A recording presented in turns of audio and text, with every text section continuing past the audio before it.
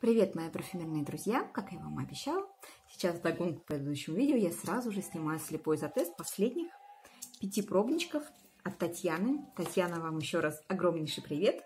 И моя огромнейшая благодарность. Вы сделали мой этот месяц. Я вот э, получаю в течение месяца огромное удовольствие. И последний конвертик а, с 11 по 15 он заклеен, нетронутый, заклеенный конвертик. Приступим. На заднем фоне у меня поет Фрэнк Синатра. А, создает мне такое крисмусовское предновогоднее настроение, ну просто такое уютное.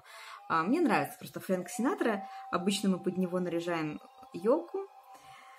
Но до елки еще далеко. И, не знаю, мне захотелось просто себе сделать как-то так приятно, и я поэтому включила его. Итак, первый, одиннадцатый пробничек. Тадам! Пробник один. Ох, какой он. Ох, какой. Одиннадцатый. Так, пока ничего не понимаю. Пусть дышит. Двенадцатый. Двенадцатый.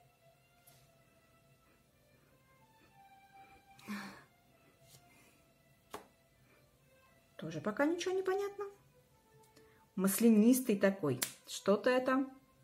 Это ниша какая-то. Теплая, древесно-бальзамическая. Совершенно для меня непонятно, чем пахнет. Какими-то смолами, какими-то ванилями, чем-то еще сладковатым.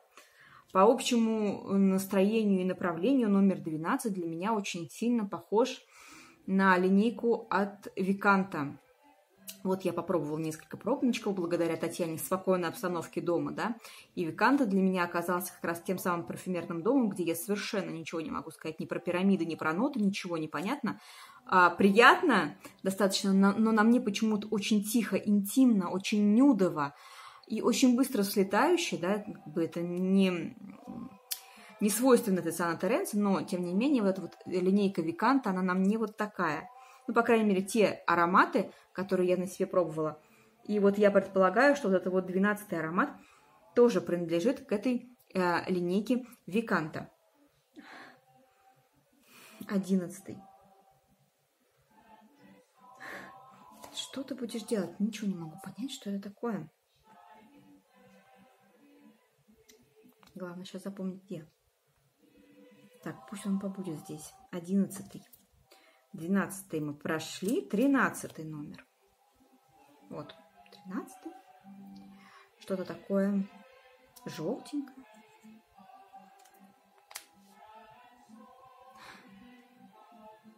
Тринадцать. Это, сейчас я добавлю чуть-чуть. Это, мне кажется, что альдегидное. Очень. Такие цветочные, чистые альдегиды нежные. По характеру это чем-то напоминает клима. Но это не точно, потому что аромат клима я помню из своего детства в духах на маме, да? И как через сейчас вот я пробовала новодельную клима в туалетной воде, мне кажется, что он совершенно не похож на то, что это было раньше в духах. Но вот альдегидность, чистота, ну какая-то такая нежная. Ну, это чисто альдегидный аромат номер 13. Это альдегиды. Это альдегиды. Номер 14. Что же такое номер 14?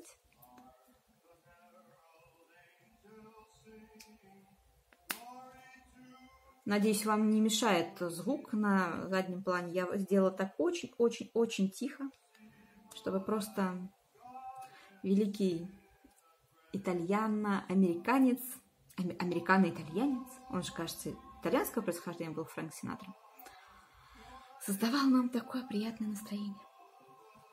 Четырнадцатый.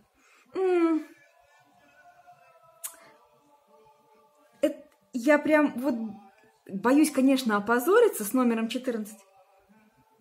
Но мне кажется, что это... Что это Вильгельм парфюмерии Диерполи. Здесь что-то сладкое, нежное и шершавая, при этом одновременно мускусно-серо-амбровая. Какой он красивый.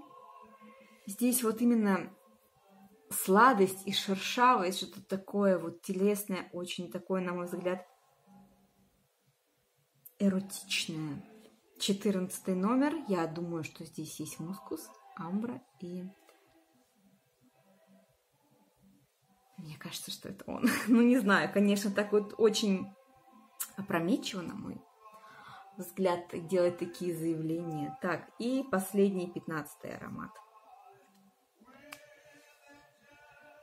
Так, пудра, фиалка точно, которая дает такую пудровость. Может быть, здесь есть фиалка с розой смешанная, то, что он дает такую пудровую помадность. И... И такая солоноватая нотка, которая дает мне предположить, что позже здесь раскроется замша либо кожа. Этот аромат я не узнаю, возможно, ну, вот из моих, э, как бы из моего ольфакторной памяти что-то похожее, нечто подобное, фиалка и кожа. Это был Робер Пиге Калипсо. У меня есть пробник такой. Но я не могу сказать, что это точно он. Вот вдыхая номер 14, я прямо могу сказать, что да, вот мне кажется, что это Вильгельм парфюмерии Дирполи. Вот мне так кажется. И про альдегидный аромат. Мне кажется, что это туалетная вода э, клима, а здесь нет. Ну, здесь точно есть фиалка и точно есть замша. Не знаю, что это за аромат. 15 и 11 аромат. Так я... Я даже не помню, где он. Он что-то нигде у меня и не отсвечивает даже. Еще раз, еще раз что-то сладенькое, что-то такое нежное, нежное, ванильно-сладковато-цветочное, теплое. Сейчас. Что-то мне... Вы знаете, мне кажется, здесь такая вот ваниль, которая очень узнаваемая в линейке эм, в линейке Ланкомовской эксклюзивной линейке. Но это и не тубероза каштан, которая у меня, которая уже была в этих пробниках, и не лаван трианон. Тогда, скорее всего, если предполагать, что это аромат такой вот ванильно-цветочный, то, наверное, тогда будет жасмин марципан. Такой он вкусненький, такой он нежненький, такой он женственный. М-м-м. Ну, я не буду долго затягивать это видео я открываю, и мы смотрим мои предположения. А вы уже, смотря это видео, вы, как всегда, конечно же, могли посмотреть внизу в описании, что там такое. Так, та-дам! Первый вариант. Одиннадцатый, который сейчас мы с вами рассматривали, и я думала, что это лаванда трианон. Нет, это Эва Ди Парфам Рев де Анталия. Я не знаком с этим ароматом. Мы сейчас поставим на паузу и посмотрим, что это. Двенадцатый. Такие это Виканта Мирабель. Вот я вот уже по характеру вот понимаю, что это что-то из Виканта. Мне совершенно непонятно. Я очень много слышала про этот запах, про Мирабель. Вы там внизу можете прочитать его ноты. А что там такое? Да, он такой теплый. Тринадцатый. Так, что я говорила про тринадцатый аромат? Я не помню, я не помню. Это Эрмес Руж. Что я говорила про него? А, я говорила, что он альдегидный, и что он мне похож на... А, на... А, а, на клима. Это альдегидный аромат, на мой взгляд. Сейчас я посмотрю, так ли это на самом деле. Четырнадцатый аромат, который я очень смело заявляла, что он похож на Вильгельм парфюмерии Диерполи. Это Виканта Страмонио. Да, вот так вот, Страмонио. Не знаком с этим ароматом. Сейчас мы там посмотрим, что там такое. Поставим на паузу. И пятнадцатый аромат, который я тут тоже что-то предполагала. А, я предполагала, что там есть пудра и фиалка. Это Лямур, Лямур, Ля Mood Making of Cans. Не знаю этих ароматов. Сейчас будем смотреть. Ставлю на паузу. Сейчас найду их все на фрагрантике. Так, Дальше снимаем. А, Рейв Данталия я открыла. Я думала, что это что-то такое ванильное, да, белоцветочное. А, жасмин с чем-то сладеньким. На самом деле здесь, правда, ваниль, а, тиарес, смолы, бензоин, орхидея, жасмин и мускус. Ну, собственно говоря, да, это такой сладковатый белоцветочный аромат.